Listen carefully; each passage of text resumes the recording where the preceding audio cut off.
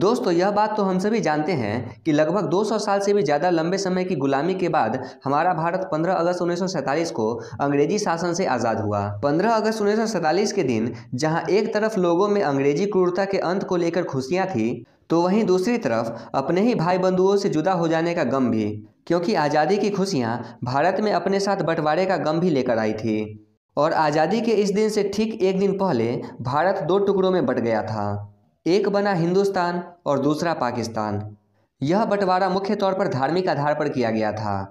मुस्लिम बहुल इलाके को पाकिस्तान में शामिल किया गया तो वहीं हिंदू बहुल इलाके को हिंदुस्तान में।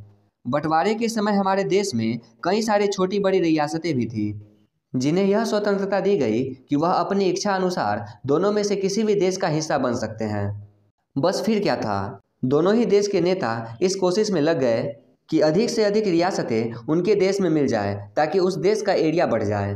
पाकिस्तान की मांग करने वाले मोहम्मद अली जिन्ना पाकिस्तानी इलाके में पड़ने वाले रियासतों से यह विनती करने लगे कि वह पाकिस्तान छोड़कर न जाए, जिसके लिए मोहम्मद जिन्ना ने उन्हें कई सारे ऑफर्स भी दिए। पर जिन्ना के इस झांसे का असर किसी भी हिंदू रियासत पर नहीं हुआ, और वे सभी भारत में आकर मिल गए, पर सिर्फ़ एक को छोड़कर। क्योंकि एक ऐसी भी हिंदू रियासत थी जिसके राजा को जिन्ना का ऑफ़र इतना ज़्यादा पसंद आया कि उसने अपनी रियासत को पाकिस्तान में मिलाने का मन बना लिया। दोस्तों, जहाँ एक तरफ़ आज पाकिस्तान में हिंदुओं की क्या स्थिति है, ये किसी से छिपा नहीं है। तो वहीं दूसरी तरफ़ इस रियासत के हिंदू राजपूत राजा का आज भी पाकिस्तान में काफ़ी दबदबा है। वहाँ के लोग इनसे काफ़ी डरते हैं और सिर्फ़ डरते ही नहीं, बल्कि उनका काफ़ी सम्मान भी करते हैं। दरअसल मैं बात कर रहा हूँ अमरकोट की रियासत की। जिसका नाम बदलकर उमरकोट कर दिया गया है। यह जगह ऐतिहासिक रूप से काफ़ी महत्वपूर्ण है, क्योंकि यही मुगल शासक अकबर का जन्म हुआ था। यहाँ के राजा राणा अर्जुन सिंह थे। बंटवारे के समय जिन्ना ने राणा अर्जुन सिंह को यह ऑफ़र दिया था कि अगर वह पाकिस्तान में ही मिल जाते हैं तो उन्हें पाकिस्तान की सरकार में एक लंबे समय के लिए हिस्सेदारी दी जाएगी। साथ ही साथ कुछ बंदरगाह को भी उनके अधीन कर दिया जाएगा। राणा अर्जुन सिंह को यह ऑफ़र इतना ज़्यादा पसंद आया कि उन्होंने अपनी रियासत को पाकिस्तान में ही शामिल कर दिया। इसके बाद जैसा कि जिन्ना ने उनसे वादा किया था, राणा अर्जुन सिंह को पाकिस्तान की हर हुकूमत में हिस्सेदारी दी गई।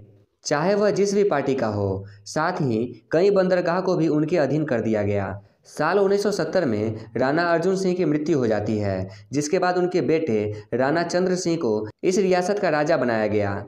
और वो भी पाकिस्तान की राजनीति से जुड़ जाते हैं।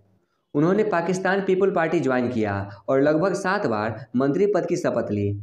माना जाता है कि वह पाकिस्तान के पूर्व प्रधानमंत्री जुल्फ़िकर अली भुट्टो के काफ़ी अच्छे मित्र थे। बाद में उन्होंने अपनी एक अलग पार्टी का गठन किया, जिसका नाम पाकिस्तान हिंदू पार्टी रखा गया। नाम के अनुसार इस पार्टी के झंडे का रंग भी केसरिया रखा गया। राणा चंद सिंह साल 2010 तक पाकिस्तान की राजनीति का एक मुख्य चेहरा थे। पर इसके बाद उनकी मृत्यु हो जाती है और इस रियासत का अगला राजा राणा हमीर सिंह को बनाया जाता है। राणा हमीर सिंह उमरकोट के वर्तमान राजा है। राणा हमीर सिंह भी पाकिस्तान की राजनीति में शामिल है और उन्होंने अपने पिता द्वारा बनाई गई पार्टी के टिकट पर 1990 से लेकर अब तक लगभग तीन बार मंत्री पद की शपथ ली है। राणा हमीर सिंह ने अपने रियासत का युवराज अपने बेटे कंवर करणी सिंह को घोषित किया हुआ है। हैरानी की बात यह है कि कंवर करनी सिंह वर्तमान में भारत के दामाद है। दरअसल साल 2015 में उनकी शादी भारत के राजस्थान राज्य के एक ठाकुर राजघराने में हुई है। उनकी शादी ठाकुर मान सिंह की पुत्री पद्मिनी राठौर से हुई है। शादी में करणी सिंह की तरफ़ से पाकिस्तान से सौ से भी ज़्यादा शाही मेहमान भारत आए थे। राणा अर्जुन सिंह का यह परिवार पाकिस्तान के सबसे अमीर परिवारों में से एक है। इनके पास एक से बढ़कर एक लग्जरी गाड़ियाँ और बड़े बड़े बंगले हैं। एक आंकड़े के अनुसार, इस परिवार की कुल संपत्ति लगभग दो लाख करोड़ से भी ज़्यादा की है। पाकिस्तान में इनके दबदबे का अंदाज़ा आप इस बात से लगा सकते हैं कि इनकी रियासत, यानी उमरकोट, पाकिस्तान का एकमात्र हिंदू बहुल इलाका है। यहाँ हिंदुओं की कुल जनसंख्या लगभग बावन प्रतिशत है।